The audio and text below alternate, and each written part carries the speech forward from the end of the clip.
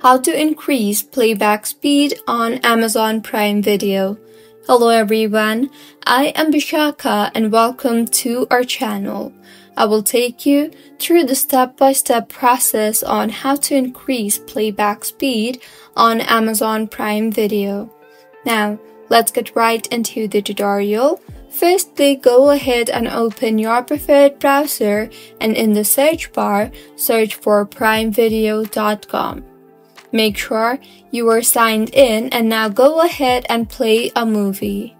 Now, as you can see on top, there are various options, but you will nowhere be able to see the playback speed option.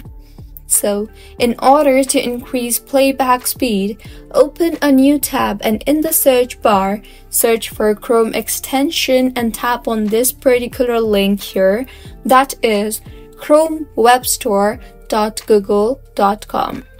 In the interface that you will be led to, tap on the search bar you see there and search for Speed It Up.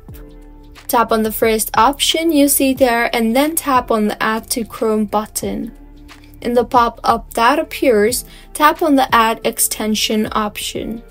Once the extension is added to Chrome, go back to Prime Video and play a movie and then tap on the extension you just added, which will be beside your URL bar, and select the speed of the video. And now, as you can see, the speed of the movie has increased. So, this is how you can increase playback speed on Amazon Prime Video. If you find this tutorial helpful, please like the video and do subscribe to our channel for more contents like this.